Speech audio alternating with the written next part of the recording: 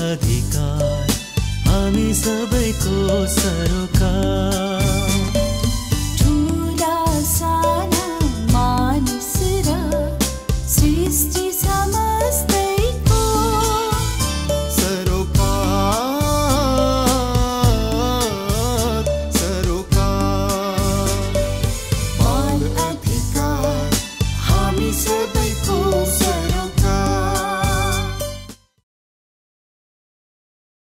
नमस्कार।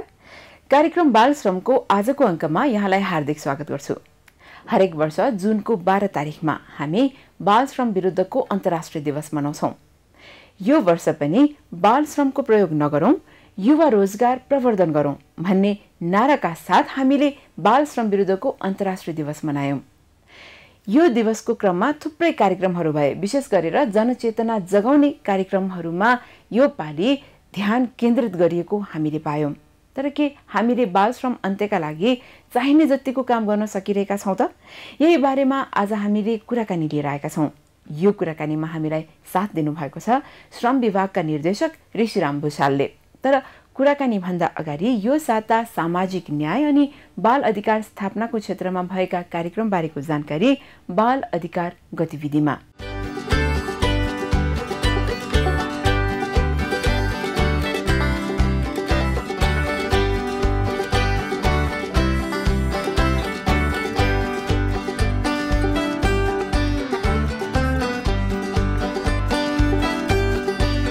किर्तिपुर नगरपालिकालाई आउने जुन बाह्रसम्ममा पूर्ण बालश्रम मुक्त बनाउने भएको छ। बालश्रम विरुद्धको विश्व दिवसको अवसरमा किर्तिपुरमा भएको जोखिमपूर्ण बालश्रम रहित किर्तिपुर नगरपालिका निर्माणमा सरोकारवालाको भूमिका विषयको अन्तर्क्रिया कार्यक्रममा बोल्दै नगर प्रमुख राजेन्द्र महर्जनले नागरिक समाज र सङ्घ संस्थाको भूमिकामा जोड दिनुभयो। कार्यक्रममा सहभागी सरोकारवालाहरूले तुलनात्मक रूपमा किर्तिपुर नगरपालिकामा बाल श्रम निकै कम भएको औल्याउँदै नगरबाट उद्धार गरिएका बाल श्रमिक अन्यत्र श्रमका लागि नसरोस् भन्नेमा विशेष ध्यान दिनुपर्ने बताएका छन्। नागरिक सङ्घ संस्थाको प्रतिनिधित्व गर्दै सिभिन नेपालले किर्तिपुर नगरपालिकालाई बाल श्रम मुक्त बनाउन हुने सबै काममा सक्दो सहकार्य रहने प्रतिबद्धता जनाएका छन्।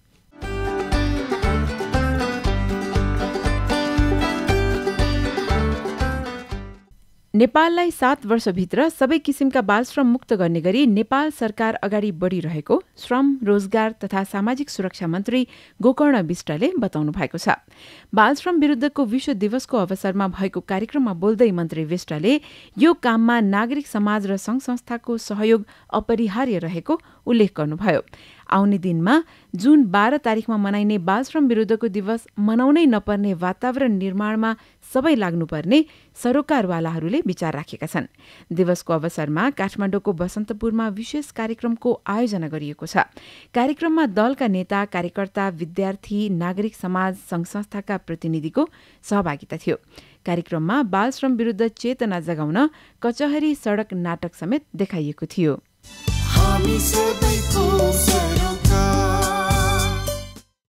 अब लाग्दैछौ स्तम्भ संसारमा बालबालिकातर्फ यसमा हामी गएका सात दिनमा बालबालिकालाई के कति कारणले सञ्चार माध्यममा प्राथमिकतामा राखियो यसैलाई समेट्छौँ।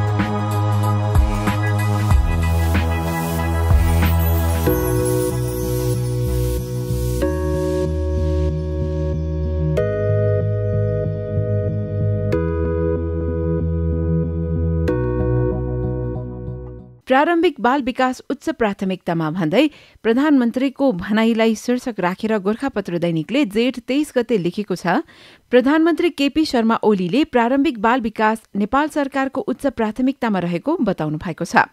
एसिया प्रशान्त क्षेत्रीय बाल विकास सञ्जाल तथा प्रारम्भिक बाल हेरचाह र शिक्षा नीति मञ्चको संयुक्त तीन दिने अन्तर्राष्ट्रिय सम्मेलनमा उहाँले यो अभिव्यक्ति दिनुभएको हो। प्रधानमन्त्री ओलीले नेपालको संविधानले सम्पूर्ण बाल बालिकाका लागि प्रारम्भिक बाल विकास र शिक्षाको सुनिश्चितता गरेको बताउनुभयो। उहाँले करिब दस लाख बालबालिका यी कार्यक्रमबाट लाभान्वित भएका र पाँच वर्ष मुनिका चौरासी प्रतिशत बालबालिका प्रारम्भिक बाल विकास शिक्षा कार्यक्रममा सहभागी भएको जानकारी दिनुभयो। संविधानले बाल अधिकारलाई मौलिक हकका रूपमा राखेकाले उनीहरूको हेरचाह विकास र स्वास्थ्यका लागि सरकारले आवश्यक प्रबन्ध गर्ने जानकारी पनि प्रधानमन्त्री ओलीले दिनुभयो। सम्मेलनमा शिक्षा विज्ञान तथा प्रविधि मन्त्री गिरिराज मणि पोखरेलले अन्तर्राष्ट्रिय स्तरमा भएका प्रारम्भिक बाल विकासमा नयाँ अनुसन्धान तथा प्रारम्भिक बाल शिक्षा तथा विकास सम्बन्धी विद्यमान नीतिबारे छलफल हुने बताउनुभयो यसै गरी बाल श्रम उन्मूलन गुरु योजना तयारी भन्ने शीर्षकमा गोर्खापत्र दैनिकले जेठ बाइस गते लेखेको छ श्रम रोजगार तथा सामाजिक सुरक्षा मन्त्री गोकर्ण राज विष्टले नेपालले सन् दुई हजार पच्चीससम्ममा बाल श्रम उन्मूलन गर्ने गरी गुरु योजना तयारी गरेर अघि बढेको बताउनु भएको छ। जेनेवामा आयोजित एक सय सातौं अन्तर्राष्ट्रिय श्रम सम्मेलनलाई सम्बोधन गर्दै मन्त्री विष्टले हालै नेपालीले प्राप्त गरेको राजनैतिक स्थायित्वले बाल श्रम उन्मूलन गर्न बनेको राष्ट्रिय गुरु योजना कार्यान्वयनमा सहयोग पुग्ने पनि सम्मेलनलाई जानकारी दिनुभएको छ। मन्त्री विष्टले समग्र श्रम क्षेत्रलाई कानूनी दायराभित्र ल्याउने गरी नेपालले लागू गरेको श्रम ऐन दुई हजार चौहत्तर र नियमावली दुई हजार पचहत्तर श्रम र श्रमिकका लागि महत्वपूर्ण भएको स्पष्ट पार्नुभयो। भारतबाट महिला र बालकको उद्धार भन्दै जेठ अठाइस गते नेपाल समाचार पत्रले लेखेको छ भारतको बेङ्गलोरमा बेचिएकी महिला र बालकको उद्धार गरिएको छ। आफ्नै श्रीमानबाट बेचिएकी महिला र बालकलाई भारतको बेङ्गलोरबाट उद्धार गरिएको हो। उद्धार गरिएका मध्ये महिलाको उमेर अठार वर्ष र बालकको उमेर दुई वर्ष रहेको जनाइएको छ। उद्धार गरिएका अठार वर्षकी महिला र उनका दुई वर्षीय छोरा दैलेखको रहेको बताइएको छ। भारतमा बेचिएकी महिला र बालकको मैती पक्षले जेठ नौ गते मानव बेचबिखन तथा ओसार पसारमा परेको भन्दै दिएको निवेदनमा आधारित रहेर उनीहरूको उद्धार गरिएको हो। उद्धार गरिएकी महिला र बालकलाई थप मनोविमर्श परामर्श सेवा तथा अन्य सहयोगका लागि शक्ति समूह काठमाडौँ पठाइएको बाल हेल्पलाइन महिला तथा बाल बालिका केन्द्र दैलेखकी संयोजक रमा श्रेष्ठले जानकारी दिनुभयो। पल्लाता पूर्ण खोपयुक्त गाउँपालिका भन्दै गोर्खापत्र दैनिकले जेठ सत्ताइस गते कालीकोटको खबर छापेको छ। जिल्लाको अति दुर्गम गाउँपालिका मध्ये रहेको पल्लाता पूर्ण खोपयुक्त गाउँपालिका घोषणा भएको छ। जिल्ला स्वास्थ्य कार्यालय कालीकोटको आयोजना तथा पल्लाता गाउँपालिकाको समन्वयमा पूर्ण खोपयुक्त गाउँपालिका घोषणा भएको हो।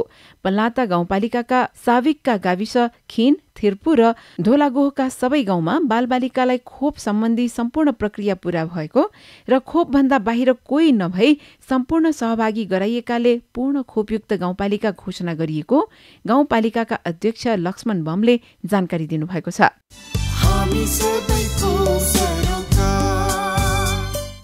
कुराकानीतर्फ जानुभन्दा अगाडि बाल श्रम अन्त्य गर्नका लागि हामी कहाँ के गर्नुपर्छ? भन्ने बारेमा हामीले तपाईँसँग नै सोधेको प्रश्नको जवाफतर्फ लाग्दैछौँ। बाल श्रमलाई अन्त्य गर्नका लागि नेपालमा चालिस दशमलव तिन प्रतिशत युवाहरूको जनसङ्ख्या छ करिब आधा जनसङ्ख्या युवाहरूको छ। युवाहरूलाई रोजगारमा संलग्न गराउनु पऱ्यो उहाँहरूलाई सिप दिने क्षमता अभिवृद्धि गर्ने र युवाहरूलाई चाहिँ श्रममा लगाउने उहाँहरूलाई चाहिँ सम्मानित श्रम गर्न लगाउने र बालबालिकाहरूलाई चाहिँ पूर्ण रूपमा कुनै पनि बाहनामा कुनै पनि प्रकारको श्रममा नलगाउने र बालबालिकाहरूलाई शिक्षा र उनीहरूको आधारभूत अधिकारहरूको प्रत्याभूति गर्न सकियो भने मात्रै बाल श्रम चाहिँ अन्त्य गर्न सकिन्छ। यसमा चाहिँ युवाहरू चाहिँ स्पेसल एकदम विशेष तरिकाले सहभागी हुन सक्छन् र यो अन्त्य गर्न चाहिँ युवाहरूले धेरै क्याम्पेनहरू गर्न सक्छन् भन्ने तरिकाले चाहिँ हामीले यसलाई लिएर अगाडि बढिरहेका छौँ। बाल श्रम अन्त्य गर्नलाई चाहिँ हामीले चाहिँ पहिला यस्तो कुनै ठाउँमा बाल श्रम भएको देखेका छौँ भने चाहिँ पहिला हामीले प्रहरीहरूलाई सूचना प्रदान गरेर त्यसको उद्धारमा लाग्नुपर्छ भन्ने मलाई लाग्दछ। परिवारको गरिबीको कारणले पनि बा बालबालिकाहरू बाल श्रममा आउने अवस्थाहरू छ र ती बाल श्रममा आएका बालबालिकाहरूलाई चाहिँ उचित व्यवस्थापन उचित अवसर उचित विकल्पहरू दिन नसक्दा उद्धार गरेका बालबालिकाहरू पनि फेरि बाल श्रममै जाने अवस्था छ र नेपाल सरकार अन्तर्राष्ट्रिय सङ्घ संस्था गैर गैर सरकारी सङ्घ संस्थाहरूले चाहिँ ती श्रममा रहेका बालबालिकाहरूलाई उचित विकल्प दिन सके मात्र यो बाल श्रम उन्मूलनको हाम्रो अभियान चाहिँ सफल हुन सक्छ। बाल श्रमलाई चाहिँ रोक्नलाई सबभन्दा पहिला त हामीले जनचेतना फैलाउनु पर्ने हुन्छ। जनचेतना नभइकनै हो। गाउँघरतिर यता त अब यो सहर बजारका प्राय बच्चाहरू चाहिँ त्यस्तो शोषणमा परेका छैनन्। गाउँघरतिरका बच्चा जुनलाई चाहिँ अब हुन त आर्थिक रूपमा नि सबल नभएको कारणले आमा बाउ नि बाध्य छन् बाल श्रममा आफ्नो बच्चाहरूलाई हुर्क्याउनलाई। त्यसको लागि चाहिँ हामीले एउटा सबभन्दा महत्त्वपूर्ण भनेको जनचेतना भयो। अनि अर्को कुरो चाहिँ हाम्रो यो गभर्मेन्टबाट पनि बाल श्रमको लागि चाहिँ एकदम कडा नियम नियम ल्याएर त्यसलाई चाहिँ एकदमै कार्यान्वयनमा ल्याउनुपर्छ जस्तो मलाई लाग्छ। हामी सबैको सरोकार। तपाईँ अहिले कार्यक्रम बाल सरोकार हेरिरहनु भएको छ अनि तपाईँसँगै छु म प्रमिला मानन्धर अब हामी लाग्दैछौँ कुराकानीतर्फ। बाल श्रम अन्त्य गर्नका लागि हामी कहाँ थुप्रै अभियानहरू सञ्चालनमा ल्याइएका छन्? केही कार्यक्रमहरू निकै सफल भएका पनि छन् अनि केहीको सफलताको लागि अझ केही काम गर्न बाँकी रहेकै देखियो। भर्खरै पछिल्लो समयमा हामीले सार्वजनिक सवारी साधनलाई बाल श्रम मुक्त बनाउन सरकारले गरेको एउटा प्रयास पनि देख्यौँ। यसरी थुप्रै कामहरू भइरहेका छन् तर हामीले अहिलेसम्म गरेका देखेका कामहरू के पर्याप्त छन् त? हाम्रो मुलुकलाई बाल श्रम मुक्त बनाउनका लागि यही बारेमा आज हामीले कुराकानी गरेका छौँ। हामीसँग आज स्टुडियोमा हुनुहुन्छ श्रम विभागका निर्देशक ऋषिराम भूषाल यहाँलाई हामी कार्यक्रममा स्वागत गर्छौँ निर्देशकज्यू। धन्यवाद। अब हामी अहिले बाल श्रम विरुद्धको दिवस मनाउने तयारीमा छौँ होइन? यसपालिको नारा पनि बाल श्रमको प्रयोग नगरौँ युवा रोजगारको प्रवर्धन गरौँ। भन्ने नारा हामीले राखेका छौँ। यसले पनि अहिलेको एउटा त्यो हुन्छ नि एकदमै हाम्रो डेस्परेसी हामी बाल श्रमको एकदम अन्त्य गर्नै चाहन्छौँ भन्ने त्यो झल्किन्छ। कार्यक्रमहरू के के राख्नु भएको छ? अब यसमा विशेष गरी हामीले चाहिँ प्रवर्धनात्मक जनचेतनामूलक कार्यक्रमहरू सञ्चालन गर्ने भनेर चाहिँ हामीले चाहिँ कार्यक्रम बनाएका छौँ। त्यसको लागि पनि हामीले चाहिँ यो बाल सरकारसँग आबद्ध विभिन्न संस्थाहरूसँग समन्वय गरेका छौँ। सरकारी तथा गैर सरकारी निकायहरूलाई चाहिँ हामीले चाहिँ पटक पटक बसेर छलफल गरियो। छलफल गरेर चाहिँ यस्तो प्रकारको कार्यक्रम लाँदा उपयुक्त हुन्छ भनेर निष्कर्ष निकालेर हामीले चाहिँ एउटा चाहिँ जनचेतनामूलक कार्यक्रम सञ्चालन गर्दैछौँ। प्ले कार्डसहित हामी चाहिँ बसन्तपुर जान्छौँ। बसन्तपुर गइसकेपछि त्यहाँ चाहिँ एउटा कचहरी नामक नाटक प्रदर्शन गर्ने एउटा कार्यक्रम छ।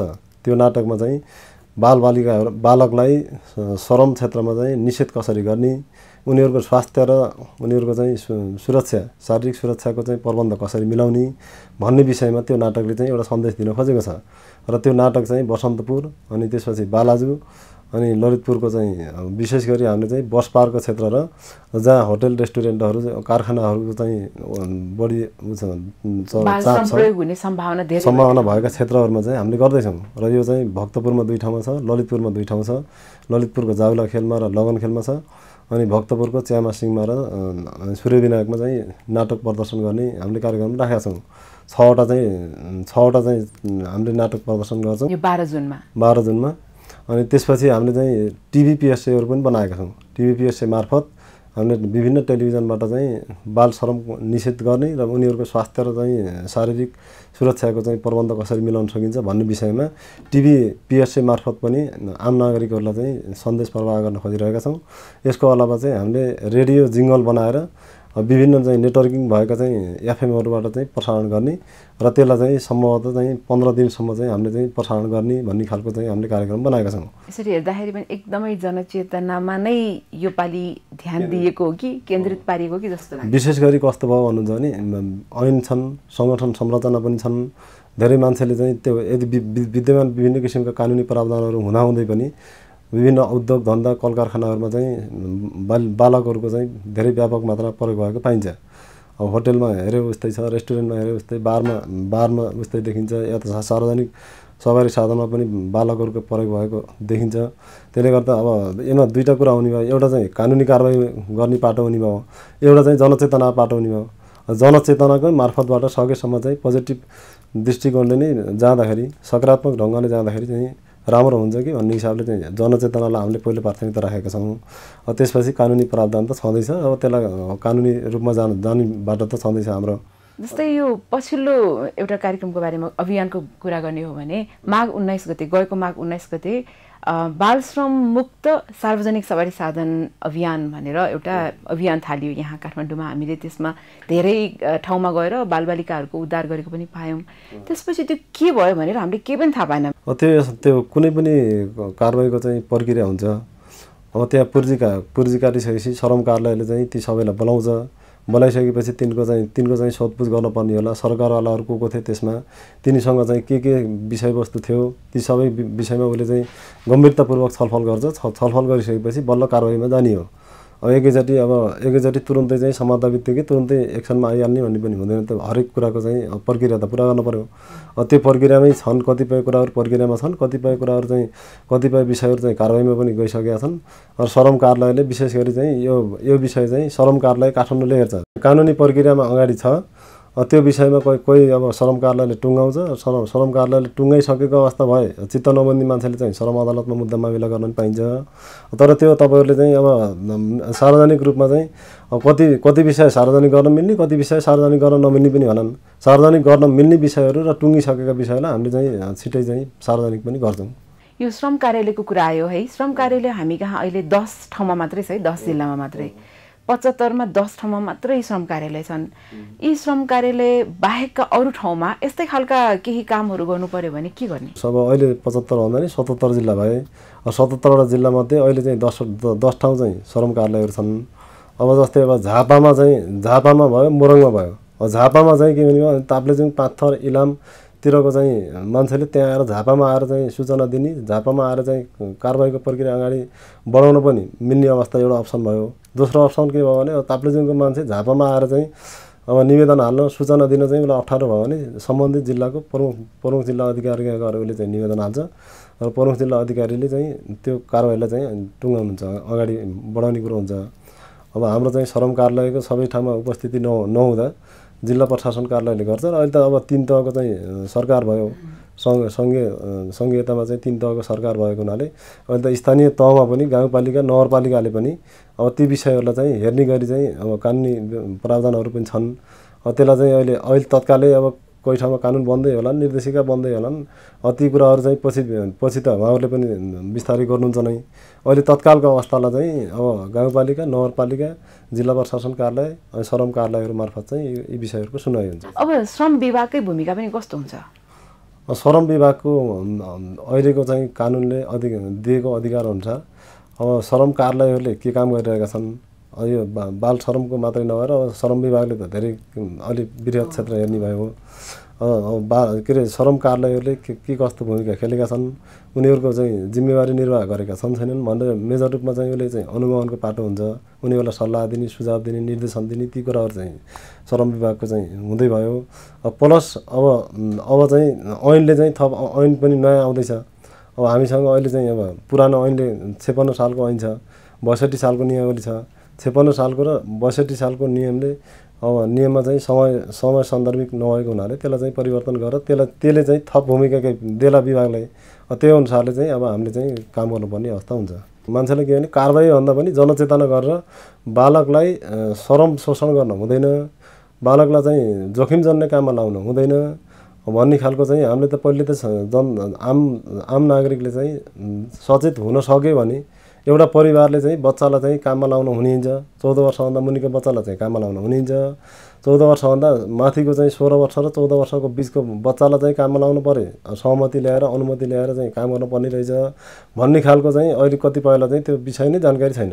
यहाँले अघि भन्नुभयो मान्छेहरूलाई कतिलाई थाहै रहेनछ भनेर। तपाईँलाई साँच्चै लाग्छ बाल श्रम प्रयोग गर्नुहुन्न भन्ने नेपालीलाई थाहा छैन?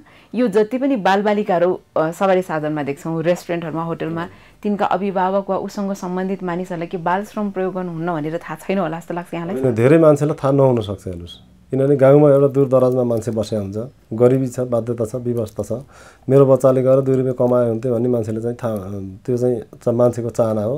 त्यो त्यो अनुसारले चाहिँ ठिक छ जान्छ काम गर्न जान्छ भने जोस् भन्ने भन्ने हिसाबले पनि मान्छेलाई चाहिँ तर कानुनको चाहिँ अब हामीले चाहिँ त्यो के भने स्थानीय तहसम्म मान्छेको चाहिँ ढोका ढोकासम्म चाहिँ कानुनको प्रावधान यस्तो यस्तो हो भनेर अहिलेसम्म चाहिँ सबैलाई चाहिँ सन्देश चाहिँ पुर्याउन नसकेको अवस्था पनि होला। अब कतिपय ठाउँमा त पुगेकै छ तर कतिपयले बुझ बुझ्दा बुझ्दै पनि त्यो बालकहरूलाई चाहिँ शरममा लगाइरहेको अवस्था पनि छ। त्यो यहाँ भइहाल्छ चलेकै छ भन्ने हिसाबले पनि गरेकै होला। तर त्यसको लागि त सरकारले चाहिँ अब हामीले चाहिँ श्रम विभागदेखि श्रम कार्यालयदेखि श्रम मन्त्रालयदेखि अन्य निकायहरू अन्य सरकारी निकायहरूले पनि त्यसलाई चाहिँ रोक्नको रोकथाम गर्नको लागि र उनीहरूको चाहिँ स्वास्थ्य र सुरक्षाको चाहिँ ग्यारेन्टीको लागि चाहिँ हामीले चाहिँ प्रयास भइरहेकै छन्। तर त तपाईँले भने जस्तो चाहिँ अब थाहै नभएको अवस्था पनि छैन। अब कतिपयलाई चाहिँ थाहै नभएको नि होला कतिपयले चाहिँ अलिकति थाहा होला धेरैलाई चाहिँ कारवाही भएको कहिल्यै सुनेकै छैन चाहिँ होला बरु। होइन कारवाही भएको चाहिँ सुने छन् तर चाहिँ सुन्दा सुन्दै पनि कतिपयले चाहिँ "अँ, ठिकै छ फलानाको यस्तो भएछ अब हाम्रो चाहिँ त्यस्तो हुन्न भन्ने हिसाबले पनि कतिपयले चाहिँ केही फरक पर्दैन भन्ने हिसाबले पनि अब अगाडि बढेको अवस्था नि होला। साँच्चै नै यो श्रम बाल श्रम प्रयोग गरेर कसैलाई यति वर्षको जस्तै बलात्कार गरेकोले यसरी झ्यालखानामा पठायो वा चोरी गरेकोमा यसरी गयो भनेर सुने जस्तै बाल श्रम प्रयोग गरेकै कारणले वा घरमा एकजना काम गर्ने बालक राखेकै कारणले उसलाई चाहिँ यसरी झ्यालखानामा पठा पठायो वा यसरी कारवाही भयो भनेको हामीले साँच्चै त्यति धेरै सुनेका चाहिँ होइन यसो छ। त्यो- कारवाहीहरू भएका छन् हेर्नुहोस्। कारवाहीहरू छ नेपाल सरकारले कारवाही चाहिँ गरिरहेको अवस्था छ। कारवाही गर्दा गर्दै पनि केही चाहिँ अब कतिपय ठाउँमा चाहिँ अब मिडियामा नपुगेको हुनसक्छ कतिपय ठाउँमा चाहिँ त्यो सूचना चाहिँ सम्प्रेषण भइ नसकेको अवस्था हुनसक्छ। अब कतिपय ठाउँमा चाहिँ त्यो सूचना पुर्याउन कोसिस गर्दा गर्दै पनि अब बिचैमा चाहिँ हराएको अवस्था नि हुनसक्छ। तर कारवाहीहरू निरन्तर रूपमा भएका छन् हेर्नुहोस् कारवाही भएका छन् भविष्यमा पनि हुन्छन्। र यो चाहिँ के भने चौध वर्षभन्दा तलकोलाई चाहिँ काममा लाउन हुन्न काममा लागेको अवस्थामा चाहिँ अब तिन महिना कैद र दस हजार रुपियाँसम्मको जरिमानै छ। त्यसलाई चाहिँ त्यस्तो कारवाही हिजो पनि भएको थियो र आज पनि हुन्छ भोलि पनि हुन्छ। कानुनी प्रावधानकै कुरा गरौँ कस्तो कस्तो कस्ता कस्ता छन् क्यारे प्रावधानहरू? अब कानुनको विषय गर्दाखेरि हेर्नुहोस् चौध वर्षभन्दा मुनिकालाई अब हाम्रो चाहिँ यो बाल श्रम निषेध र नियमित गर्ने ऐन दुई हजार छेपन्न छ र नियमावली दुई हजार बैसठी छ। यसले चाहिँ के भन्छ भन्नुहुन्छ भने चौध वर्षभन्दा तलकोलाई चाहिँ बालकलाई काममा लाउन हुँदैन भन्ने चाहिँ उसको चाहिँ उसको चाहिँ यो ऐनको चाहिँ मुख्य प्रावधान हो। चौध वर्षदेखि सोह्र वर्षसम्मको बिचको बच्चालाई बा बालक भनेको सोह्र वर्षभन्दा तलकोलाई मानेको छ अब सोह्र वर्षभन्दा तलकोलाई चाहिँ पनि दुईवटा क्याटेगोरी छ। चौध वर्षभन्दा तलको बालकलाई चाहिँ काममा लाउनै हुन्न। काममा लागेको खण्डमा चाहिँ तिन महिनासम्म कैद र दस हजार रुपियाँसम्म चाहिँ जरिमाना गर्ने प्रावधान छ। अब त्यसमा चाहिँ के के हुन्छ भन्नुहुन्छ भने चौधदेखि सोह्रको बच्चालाई चाहिँ काममा लाउँदाखेरि दिनको छ घन्टाभन्दा बढी काममा लाउनु नहुने। अनि तिन घन्टा काम गरेपछि आधा घन्टा रेस्ट गर्न दिनुपर्ने अनि यो बेला चाहिँ हप्ताको एक दिन चाहिँ बिदा दिनुपर्ने छत्तिस घन्टाभन्दा बढी काम लाउनु काम लाउनु हप्ताको चाहिँ छत्तिस घन्टाभन्दा बढी काम लाउनु नहुने यस्ता यस्तो यसरी चाहिँ उसको चाहिँ बच्चाको बालकको चाहिँ संरक्षण गर्न खोजेको छ। एउटा कुरा दोस्रो कुरो चाहिँ के छ भन्दाखेरि बालकलाई काममा लाउ लाउँदा पनि हल्का फुल्का प्रकारको काममा लाउने हो। र काममा लाउँदा श्रम कार्यालयको स्वीकृति लिनुपर्ने र उसको अभिभावक बाबु आमा वा संरक्षक कोही होला उसको चाहिँ उसको चाहिँ अनुमति लिएर पूर्व स्वीकृति लिएर मैले यसरी काममा लाउँदैछु भनेर अनि त्यसपछि उसको स्वास्थ्यको चाहिँ स्वास्थ्य अवस्था ठिक छ भनेर त्यसको चाहिँ स्वास्थ्य स्वास्थ्य कर्मीले चाहिँ उसको चाहिँ स्वास्थ्य ठिक छ भनेर दिएको प्रमाणपत्रको आधारमा मात्रै काम लाउने हो। त्यो त्यसरी यस्तो प्रकारको प्रावधान छ।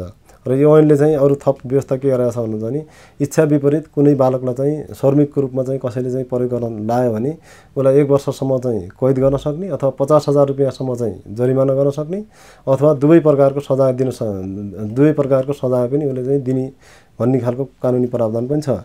यसै गरी तोकिएको समयभन्दा बढी चाहिँ काममा लाग्यो होइन सोह्र चौध र सोह्रको बिचकोलाई चाहिँ दिनको छ घन्टा काम लाउने हो। त्यो पनि हल्का फुल्का काम लाउने हो। गरुङ्गो खालको जोखिम जन्ने काममा उसलाई प्रयोग गर्नै होइन।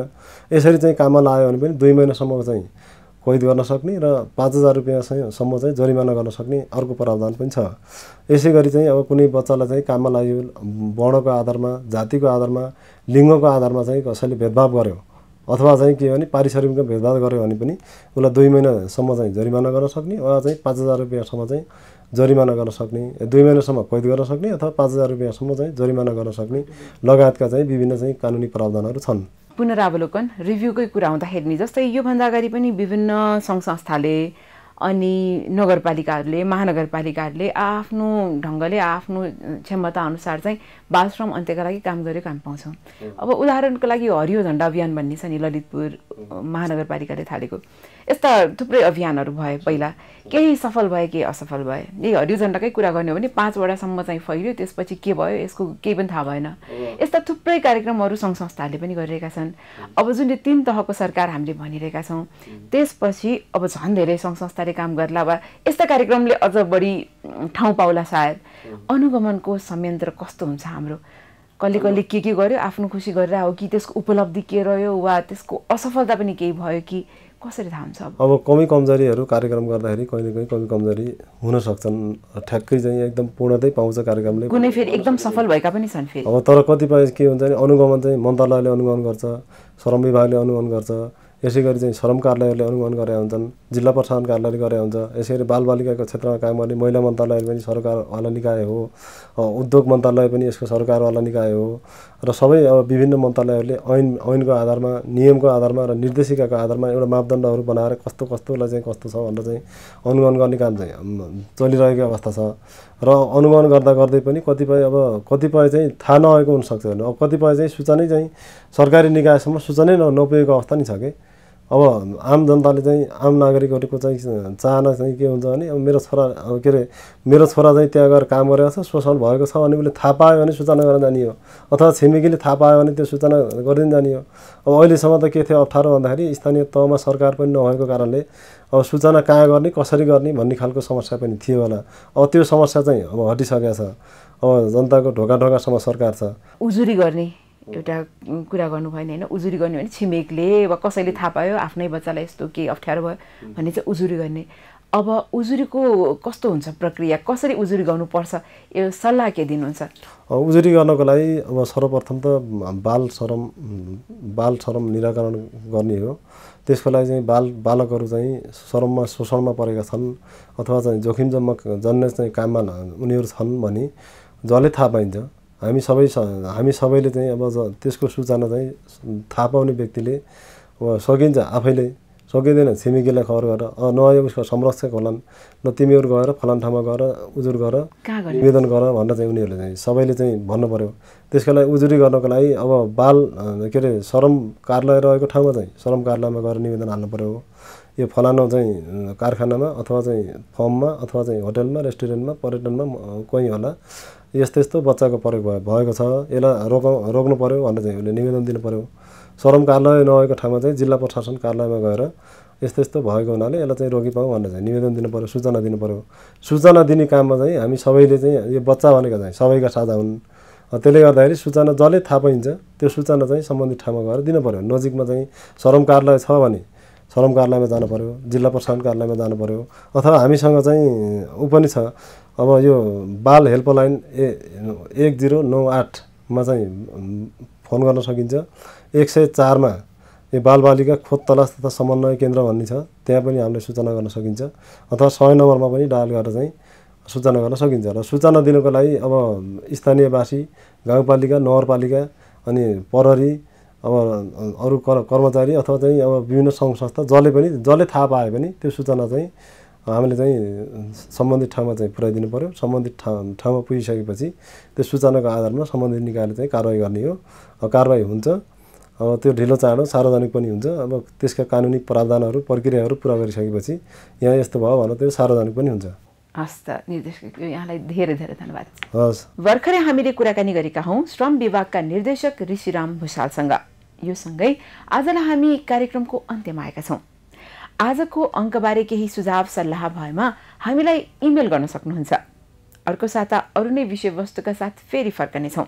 त्यतिन्जेलसम्मका लागि म प्रमिला मानन्दर सहकर्मी गणेश सिंह ठकुरी र रमिता छुजुसँगै बिदा हुन्छु। नमस्कार।